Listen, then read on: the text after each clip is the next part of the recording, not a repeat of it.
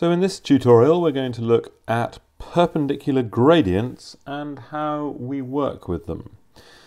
So the thing you need to remember is that if we have two gradients, and I've called them m1 and m2 because we tend to call the gradient of a straight line m, if two gradients are perpendicular then they multiply together to give minus 1.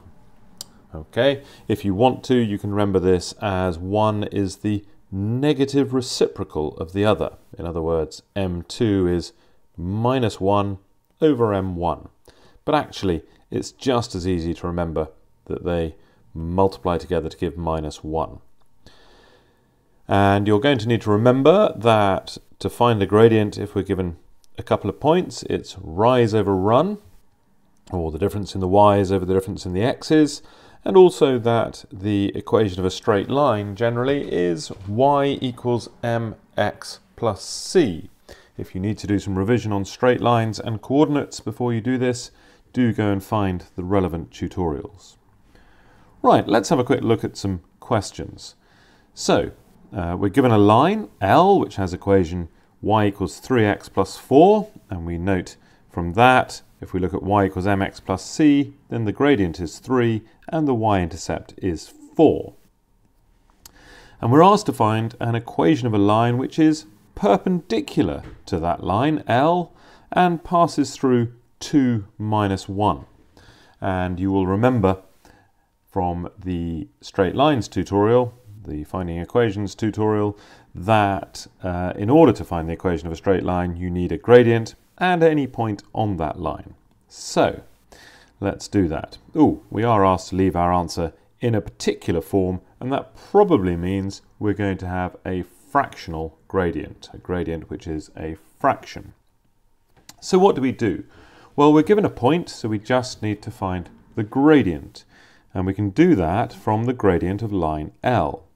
The gradient of line L, we can just read off, off as we already have, is 3. It's the m bit of the equation.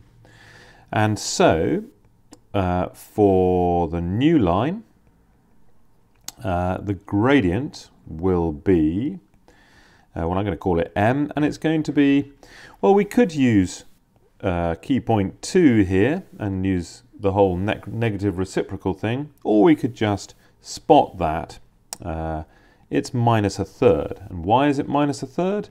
Well, because minus a third times 3 is minus 1. And if you want to put some working down, that would be plenty. So the equation of the new line is something like y equals minus a third x plus c. In fact, it's exactly like that. But we do need to find the plus c. Now, in order to do that, we're going to use the point we're given. So we use 2 minus 1, which is of course an x value and a y value. So we put minus 1 in for y, and then we put 2 in for x, and that allows us very quickly to find c. Minus a third times 2 is minus 2 thirds, so we add 2 thirds to both sides to get the c on its own, and minus 1 plus 2 thirds is minus a third, and we're left with c on the right hand side, and so we've found c. And that means that we can now complete the equation of the new line in y equals mx plus c form at least, that is minus a third x minus a third. But we're not asked to leave it like that. We need to put it in this form here, ax plus by plus c, where a, b and c are integers or whole numbers. So we just need to get rid of the fractions, and we're going to do that by multiplying everything by 3, which gives us 3y is equal to minus x minus 1. And then to put it all on the same side, let's add the x to both sides and add the 1 to both sides. So let's put it over here as well. And that gives me my final answer of x plus 3y plus 1 equals 0. And there you go. That's the first question. Now we are going to do one more question. Here it is. This time we're given three points, A, B and C. And we're asked to find an equation of the line which passes through A and is perpendicular to BC? Well, you may be able to picture that in your head. If so, you're a better man than I. But I think we should probably sketch this. So all we need is a very rough sketch. So here are a pair of axes, a set of axes for us. And if we just very roughly plot A, which would look to be about there, that's 1, 4. B, which is minus 3, 1, so it's going to be about there. And C, which is 3 minus 2, and so that would be roughly there. We're told that the line passes through A and is perpendicular to BC. So there's BC, and here is a line which is perpendicular to BC and passes through A. So it's this line is the one we want.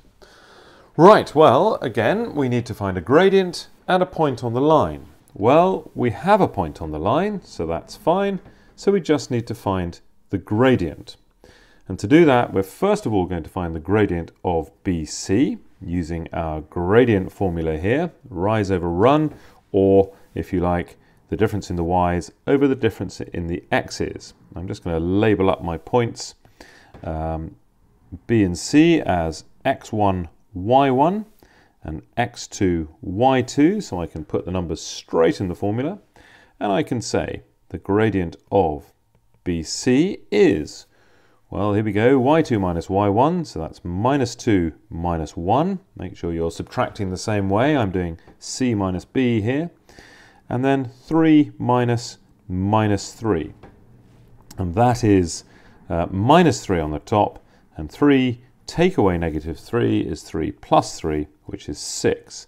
And so the gradient of BC is minus a half.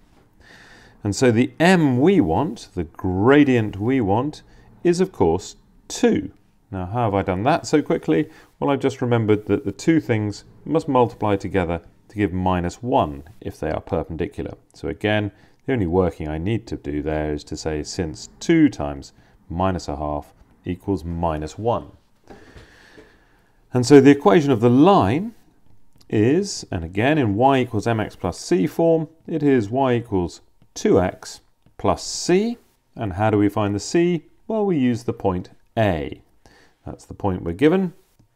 So as we did before, we're going to use a point on the line, which is 1, 4, and that's going to give me 4, because that's the y value, is equal to 2 times 1, because that's the x value, plus c, and then I'm going to subtract the 2 times 1, which is just 2 from both sides, and that gives me 2 equals c, or if you like, c equals 2. And so the equation of the line finally is y equals 2x plus 2. And that's quite neat in that form, so we don't need to change it any further. So there you go. Perpendicular lines have gradients that multiply together to give minus 1.